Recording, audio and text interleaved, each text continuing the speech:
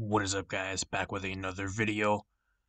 Uh, this is going to be a Season 3 item tier list. Now this is for the month, pretty much the month of April, so if any of these items do get reworked or anything in the future, just keep that in mind. Um, this is the, the update that's live right now before the Corvus, the patch of the Corvus, uh, Darkness and Dragons, so keep that in mind if you guys, depends on when you guys are watching this video. But I've been getting a lot of requests to do an item tier list, and I'm kind of waiting for the next update to really go live before I really do anything else, at least video wise. So I think right now is probably the best time, more than ever, to get this tier list out of the way. Um, then it's more of a highly requested video. So if we get this video to 10 likes, that'd be absolutely great.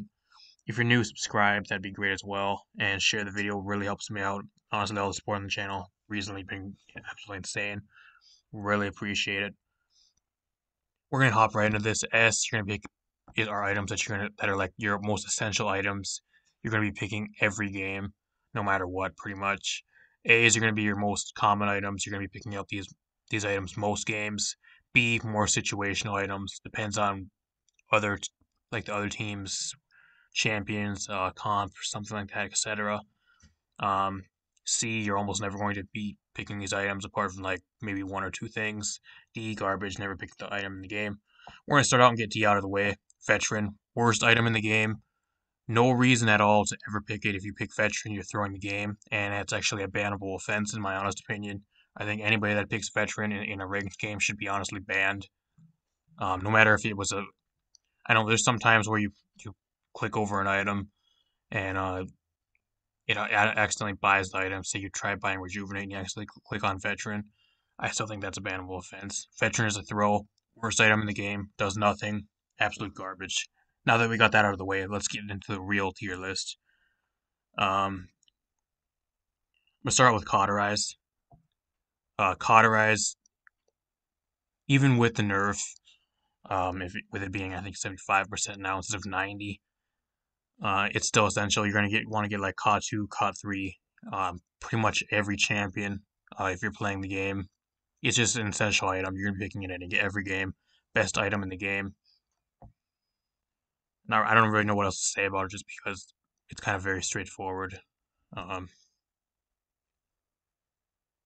Wrecker, I think Wrecker right now. If you would ask me before Wrecker got reworked, um, to, before it was it was absolutely nerfed to shit. I'd say Wrecker is probably most one of more of essential items. I say right now it's more of a situational item. The only time I would really pick Wrecker is if, if your team has like a really heavy shield comp with something like a Fernando Khan or something with that has like a lot of shields. Maybe something like a Torvald. Even Torvald doesn't have that much shields anymore. You really don't even need to pick Wrecker to kill him. You just, just pick a good damage champion and just go to town because honestly, you really don't even need Wrecker for Torvald anymore. Um, that's the only reason I'd really pick it. Or if you're, you're struggling with like a certain tank, and maybe like a con that's constantly going after you, you pick up like Wrecker 1, Wrecker 2, just to deal with a certain like threat. Maybe you can pick Wrecker, but I would not say it's essential. Um, and like on your item slot anymore, pretty much. Now before the rework, I'd say it probably would probably be right beside Cauterize as, as the best item in the game, but not anymore. Blast shields, I wouldn't say it's bad. It's just more situational. If your team you're going against like a more of like a blaster heavy um, type team, stuff like Drogoz, Pip, uh, stuff like that. Dredge, it's great for tanks versus Dredge. It's kind of just more situational. I don't think it's really as common just because there's a lot more direct damage champions in the game than there are blasters. So I say it's a. I'm actually gonna put it C just because I think it's more of a really extremely situational pick. The only reason I would really pick it is if you're like a tank and you're going against like a double blaster comp with like Drogoz Pip, or Dredge, Drogoz, something like that. I don't know. Or if you're just trying to go against and you're trying to 1v1, you're something that's supposed to take out the blasters or whatever. If you're like a flank and you keep dying to the damage, then I guess it's, it's decent to have. Bulldozer, C. They nerfed the absolute shit out of Bulldozer. Um, the only reason you're gonna be picking bulldozer is if, say, if your opponent has a an aisle, only one person on your team needs to pick bulldozer, and I wouldn't even say maxing it out unless you really need to, or save it for your last, like last ditch item to like max out with your credits um, as your last priority. Bulldozer's garbage. It's not even really worth a pick for versus something like an Amani Dragon or anything like that anymore. I think the only really use it has currently is for like Io's dog, and maybe if you're like a tank and you're really struggling with a Inara's cripple, and get, getting rid of some of the Inara's deployables or like Barik turrets or stuff like that, or like maybe like Ying clones. I don't know. I don't even think Bulldozer is really worth just for those types of things. Only really want like want to have one of your DPS characters pick it up, maybe at like level level one, level two. Honestly, not worth. Chronos. I actually think Chronos right now is probably one of the best items you can pick on pretty much almost any champion. Um, granted, there's some champions that use it a lot better than like other champions. For example, I, I think I don't really think Chronos is good on like something like a Viktor or stuff like that. But the majority of the champions in the game can benefit in some way from Chronos, and them reducing the, the cost from 400 down to 300 just makes it so much better. Especially with for things like healers, things like that really benefit from Chronos, like Furia, Jenos, um, a lot of those types of healers.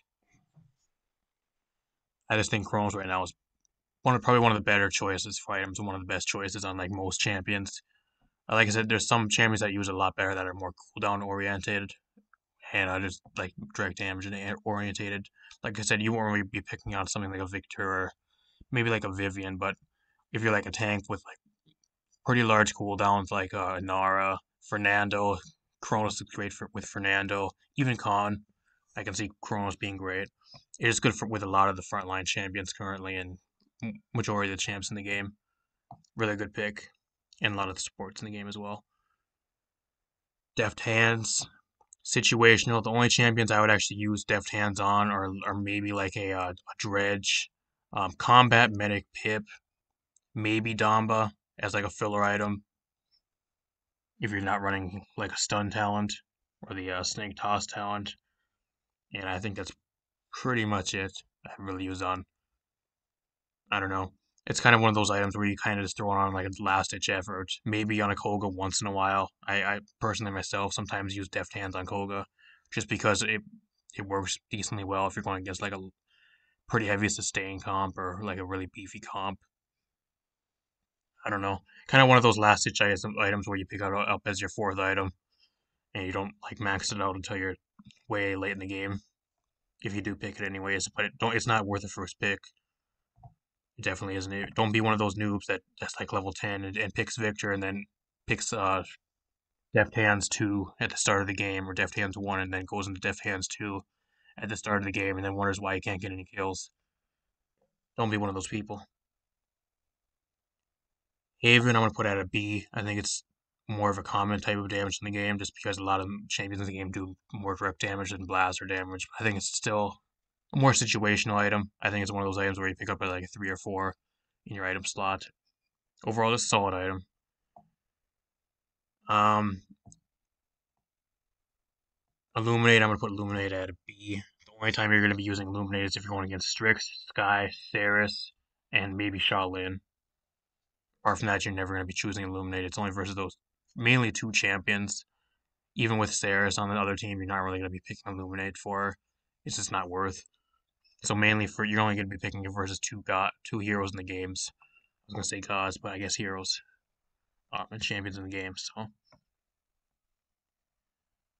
then it got nerfed, so you kind of need to stack it to two to really pretty much get the same effect as it was before it got reworked.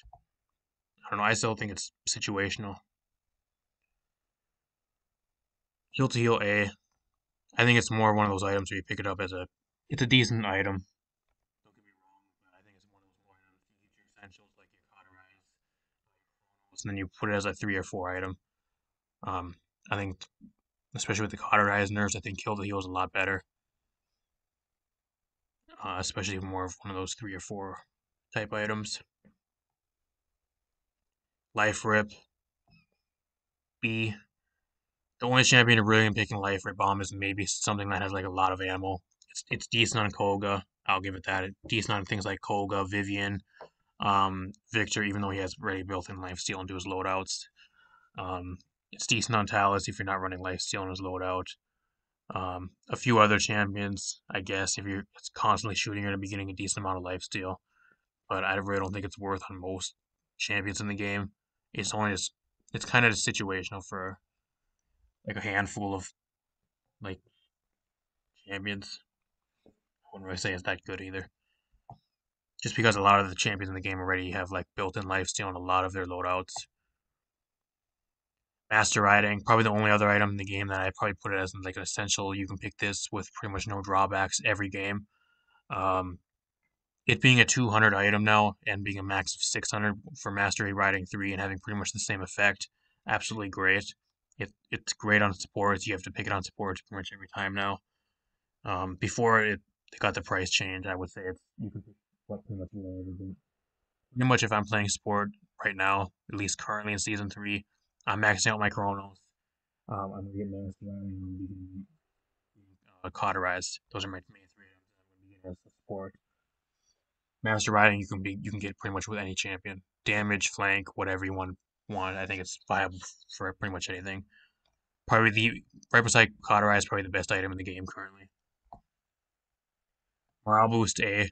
Now they did they did nerf the charge of morale boost, but I thought I still think it's a really solid item, especially when you have those alts that you really want to keep up, like like Viktor, um, Tyra, Vivian, those champions that do a lot of damage,